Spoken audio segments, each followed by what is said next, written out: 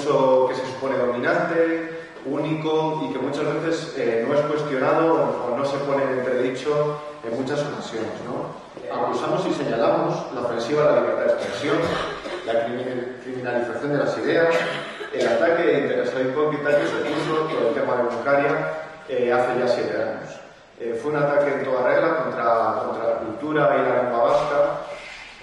En esta democracia que nos publicita, en esta democracia que nos vende a plazos y que, lo hacen de forma muy, y muy hipócrita, la presunción de inocencia parece ser que queda a veces en entredicho. El caso, el caso que vamos a comentar hoy es, es, un, ejemplo muy, es un ejemplo muy claro. Eh, eh, todo lo que ocurrió nunca se dio por sentado que las personas a las que estaban imputando eran inocentes, eh, se les acusó sin tener ninguna prueba. Tan, eh, tiempo después eh, parece ser que han demostrado su inocencia, ahora queda ver cómo la van a reparar. Eh, en primer lugar, quiero agradecer la iniciativa de la Asociación Contra Poder de organizar este acto y de invitar a la plataforma de apoyo a Uncaria Madrid a, a convocarlo también con ella, ¿no? igual que eh, saludar el apoyo de la promotora como de profesores de esta facultad. ¿no?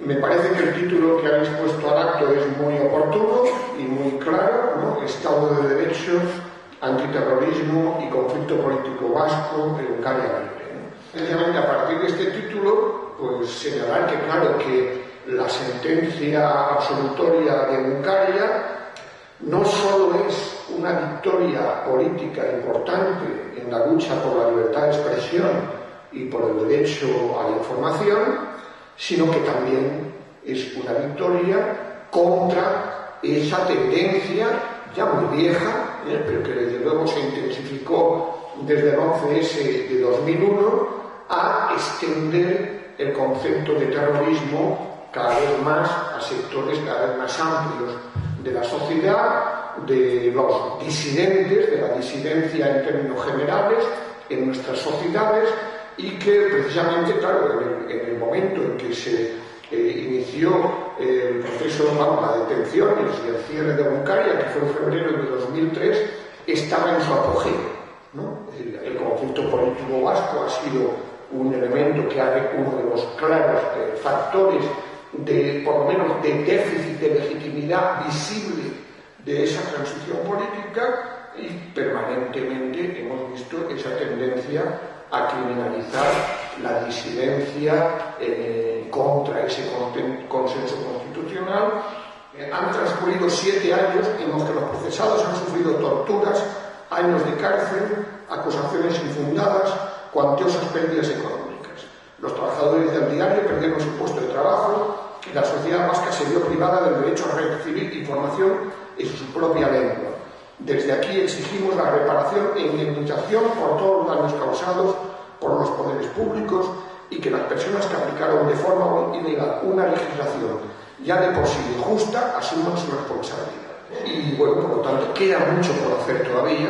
Hay que exigir también la derogación de la ley de partidos, que sigue siendo una ley injusta, una ley antidemocrática, que impide eh, el derecho a la disidencia, que sí estamos viendo, claro, una de las cosas que se está comprobando con la prohibición de, la investigación de las desapariciones forzadas es lógicamente la supervivencia del franquismo del aparato judicial. Es verdad que evidentemente muchos jueces de la etapa franquista murieron, pero precisamente porque no hubo depuración de ese aparato estatal que heredado del franquismo, la cultura franquista ha sobrevivido en ese aparato judicial y lo estamos viendo ahora de manera completamente trágica. y yo quiero comenzar mi intervención felicitando a Marcelo Tamendi y a todos sus compañeros de Bulgaria por esta sentencia absolutoria. Una sentencia que al menos por una vez ha logrado, como yo misma decía en aquel artículo sobre razones para una solución de Buncaria, que derecho y justicia caminen de la misma mano, lo cual la verdad es que últimamente no era nada habitual. La absolución es, por tanto, firme, que decimos los juristas. Ya no cabe marcha atrás. aunque como casi siempre sucede en estos casos, tampoco hay ya modo humano de reparar el daño que ha sido infligido.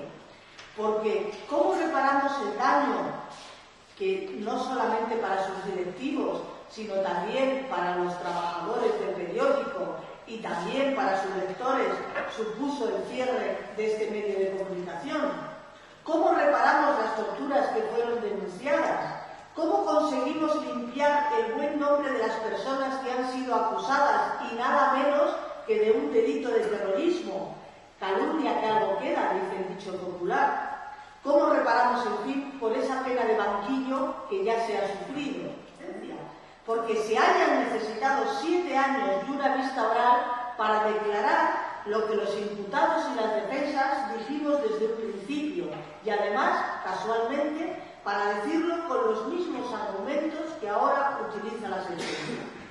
Porque la sentencia comienza denunciando algo que se dijo desde un primer momento y denunciando de forma valiente, y cito textualmente, que se puede producir una estrecha y errónea visión según la cual todo lo que tenga que ver con el euskera y la cultura de esa lengua tiene que estar fomentado o controlado por ETA. Lo que sigue diciendo la sentencia conduce en el proceso penal a una errónea valoración de datos y de hechos y a la inconsistencia de la imputación. Bueno, eh, Arracha se como decimos allá arriba, gracias, buenas tardes por haber acudido a este acto, gracias a los organizadores, contra y la promotora, gracias eh, a este excelente dúo que se está convirtiendo ya en un trío, de hecho, oratorio.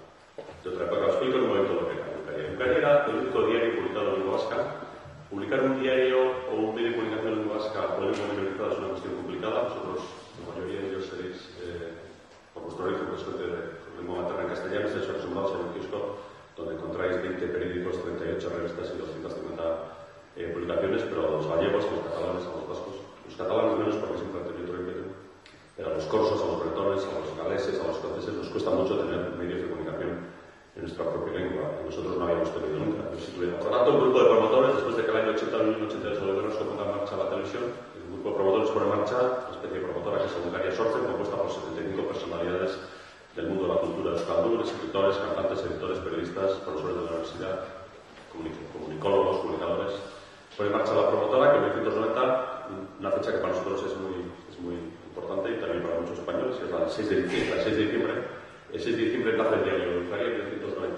Es un diario integrante de euskera, nace con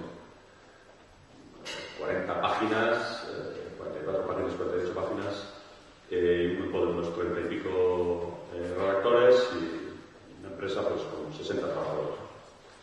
Eh, es un diario normal, es un diario estándar, es un diario que quería las secciones de política internacional, de deporte, sociedad, cultura, televisión, opinión, columnista, un diario como lo habla cualquier otro diario. Y entonces nuestro objetivo siempre fue, nuestra línea siempre fue procurar hacer un diario que conformara más o menos, no todos los días, no todas las secciones, pero eh, que aglutinara al menos la voluntad, la satisfacción de todas aquellas personas que están en nuestro país dispuestas a hacer el diario en Por lo tanto, no podíamos hacer un diario eh, eh, una línea ideológica clara, pero procurar que aquellas personas que más o menos en nuestro país, desafortunadamente, desgraciadamente todavía la lectura de euskera está muy leído con, algunas, con, opciones sociopolíticas. No nos vamos a engañar, la gente que sea euskera es mayoritariamente gente de voto Barzale y la gente que no sabe, es, no es fácil encontrar eh, voto no a Barzale, voto de partidos como el Partido Socialista, Partido Popular, dicho con respeto, de gente que se prospera. Actualmente la, la, lengua todavía marca mucho.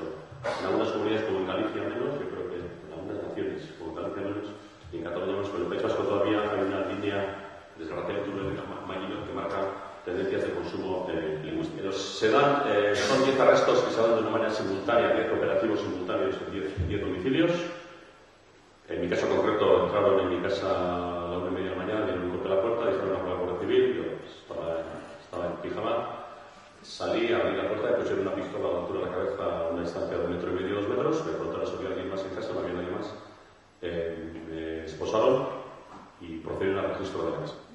Se llevaron objetos tan peligrosos para la seguridad del Estado y para el orden constitucional.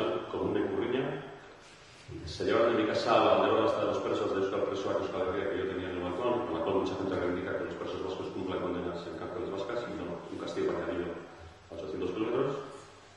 Se se llevaron el manual que suelen dar a los jóvenes cuando entran en Harry. Cuando entras en Harry y Neca, te suelen dar un manual, que es un libro de pilar urbano.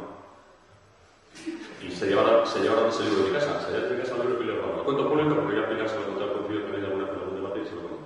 Por lo tanto, yo tomo la licencia que está público.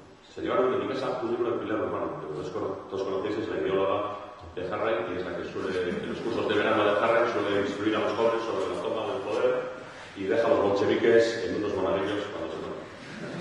Vosotros calcularéis que se pueden notar en un libro de urbano. Se llevaron un libro de Bernard Rorschach. Se llevaron, bueno, el de Pilo Urbano te lo dan cuando entras en Harry, pero cuando pasas de Harry a Batasuna te dan otro, que es el libro que se dio en mi casa, era un libro en euskera que es titulado en castellano, la traducción en castellano es Los y la caza de ballenas, que es un estudio sobre la importancia de los vascos en la caza de ballenas en la, en la zona esta de, de. Eh, yo creo que la decisión de la izquierda nacional política es firme a la hora del cambio de ciclo. Yo creo que la opinión es absolutamente mayoritaria de de que hay que de ciclo y que tiene que ser una historia pasado, el ciclo de la y que sus opiniones políticas. Yo creo que esto es, lo dicen los papeles y, y hablas con la gente, es lo que te, lo que transmiten. Hay unas lógicas dificultades que hay en cualquier organización armada a la hora de tomar esa decisión, porque es una decisión importante, son 50 años de lucha armada, por lo tanto no es fácil cerrar esa persiana desde el punto de vista sociológico. Pero yo creo que el esfuerzo de izquierda va encaminado al cambio de ciclo y en un tiempo razonable, en un periodo razonable de tiempo, estemos en un ciclo en el que no haya eh, violencia por parte de, de tal forma monárquica que no haya violencia por parte del Estado. Eh, yo creo que si, eso se cumple, se va a abrir un escenario político importante, muy interesante en. Yo creo que también es previsible que aunque eso suceda, tampoco es de presentarse las primeras. Yo creo que por parte del Estado un castigo al que González, incluso ya llegado a decir que en caso de que haya condena yo creo que es importante la valoración desde que comienzos de agosto no ha habido por parte de una intervención